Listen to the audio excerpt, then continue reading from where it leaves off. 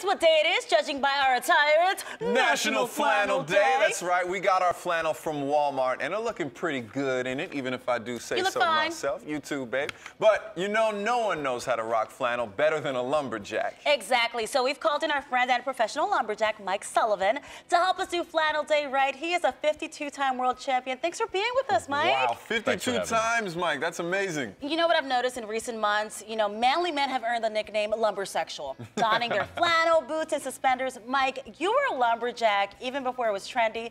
Tell us the secret to being a lumberjack.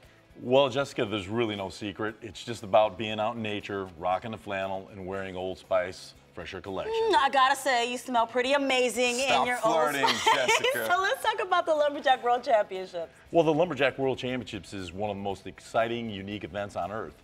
Today, they are kicking off the Old Spice Getaway. Customers who purchase the Old Spice Fresher Collection at Walmart can upload their receipt to oldspicegetaway.com for a chance to win a trip to the Lumberjack World Championships. All right, well, well, since you were here, since you're here, I say you show us your skills. We go outside. I mean, he's got to show that he's a lumberjack You know too, what? right? I'm ready to. I'm ready to see all that. Let's do it. Let's go, do it. Greg. Let's Let's do it. Let's go.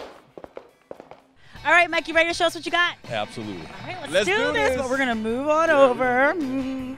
This is the real deal, This is the Jared. real deal. All right, Mike's setting up. Oh, whoa. Get it. Oh. Oh. Whoa.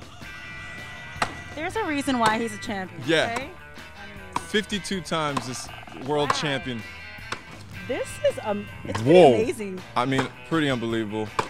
Jared, can you do that? I could, I could do that maybe in my dreams. Wow. Wow. Okay.